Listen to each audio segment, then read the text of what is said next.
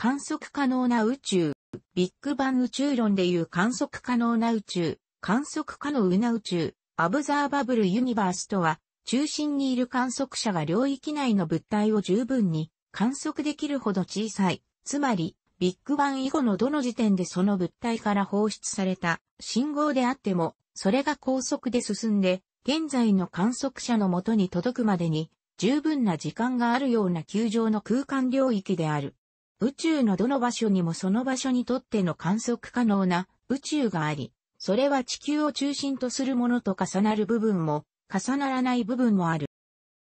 観測可能という語は、現代の技術でこの領域内の物体から放射されたエネルギーが検出できるかどうかとは無関係であり、その物体からの光やその他の放射エネルギーが地球上の観測者のもと到達することが原理上可能だという意味である。実際に観察できるのは宇宙が晴れ上がった最終産卵面にある物体までである。晴れ上がる前の宇宙は光子に対して不透明であった。しかしながら重力波、やはり高速で移動しているの検出によって、それ以前の情報を推定することもできないわけではない。重力波はインフレーション時代の遅くとも後期から発生しており、それによって数兆光年、あるいはそれ以上の遠方の宇宙を観測できる可能性がある。もちろん、インフレーション時代の宇宙の姿観測となる。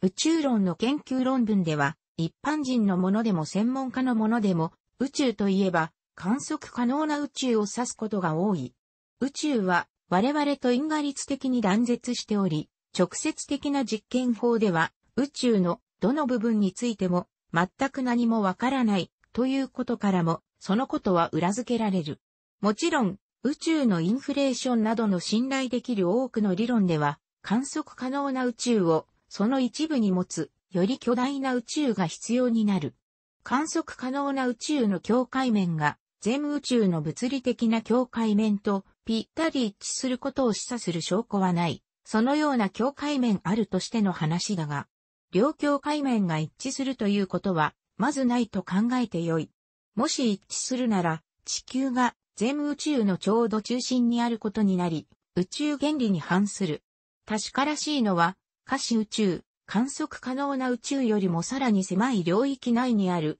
銀河が全宇宙の銀河のごくわずかしか表していないということである。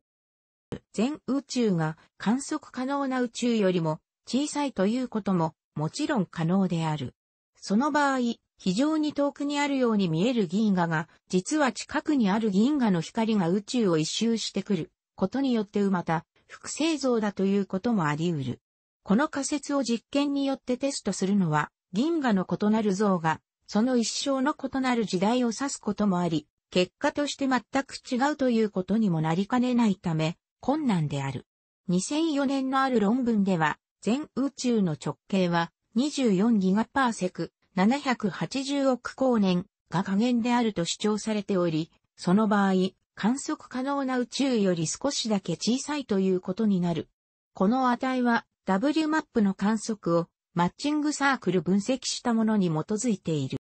仮に観測不可能な宇宙を含めた全宇宙が有限で閉じているとしても、観測可能な宇宙の範囲内では、極率は無視できるほど小さいことから宇宙全体の大きさは光年単位を用いても超等の日常的な数の尺度ではなく指数での表現が必要な大きさである。レオナルド・サスキンドは宇宙の直径をフォーミュラ1と推定している。この推定値の単位を考慮することに意味はない。桁数が非常に大きいため、単位が光年でもミリメートルでももはや5歳以下の違いでしかないためである。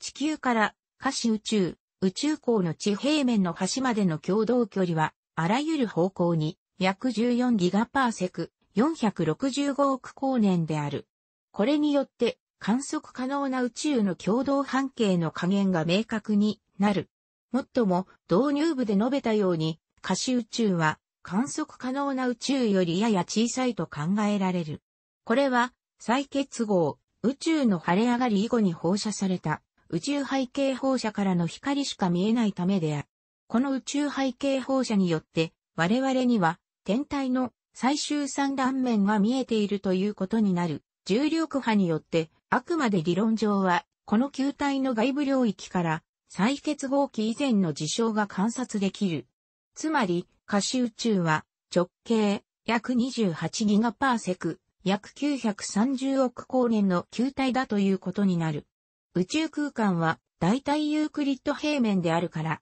この大きさはおよそ、フォーミュラに、すなわち30立方メートルの共同体積に相当する。上に引用した数字は、宇宙時間でいう、今の距離であり、光が放射された時点における距離ではない。例えば、今この瞬間に見える宇宙マイクロ波背景放射は、137億年前に起こったビッグバンから37万9000年後の再結合の時に放射されたものである。この放射エネルギーは、その中間の時期に密集し、現在では銀河になっている物質から放出されたのである。これらの銀河は現在、我々からおよそ460億光年の距離にあるとされている。光が放出された時点におけるその物質までの距離を推定するためには、膨張の数学モデルを選び、また、スケール因子 A をビッグバンからの任意の時刻トンについて計算しなければならない。観察に適したラムダ CDM モデルでは WMAP 衛星からのデータを用い、によっておよそ1292というスケール因子の変化が得られる。これが意味するのは宇宙が CMBR 光子が放出された時の大きさの1292倍に膨張しているということである。よって、現在観測できる最も遠くの物質460億光年先は、現在受け取っているマイクロ波が放出された時には、いずれ地球となる物質からわずか3600万光年しか離れていなかったのである。つまり、宇宙の膨張により137億光年より遠方の宇宙も観測可能な宇宙に含まれたことになり、重力波が最初に発生したインフレーション時期、雑誌ニュートン2012年7月号掲載には、インフーションによる急激な膨張により、重力波を発生した物理界が現在では、非常に遠方に存在していることになる。多くの二次資料が、これまでに様々な誤った可視宇宙の大きさを報告している。いくつかを例示する。観測可能な宇宙には3から7個、300外700外個の星があって800億以上の銀河にまとまり、それぞれがさらに銀河群や銀河団、超銀河団を形成している。二つの大まかな計算がそれぞれ観測可能宇宙内の原子数を約10としている。観測可能な宇宙内の物質質量は密度と大きさから推定可能である。観測可能な宇宙を構成する可視物質の質量を計算する方法は、一つには平均太陽質量を仮定し、これに観測可能宇宙内の星の総数をかけることである。宇宙の星の推定総数は観測可能な宇宙の体積。フォーミュラ5とハッブル宇宙望遠鏡の観測値から計算した星の密度。フォーミュラ6から導かれ、観測可能な宇宙内の星の推定総数は9、90倍個となる。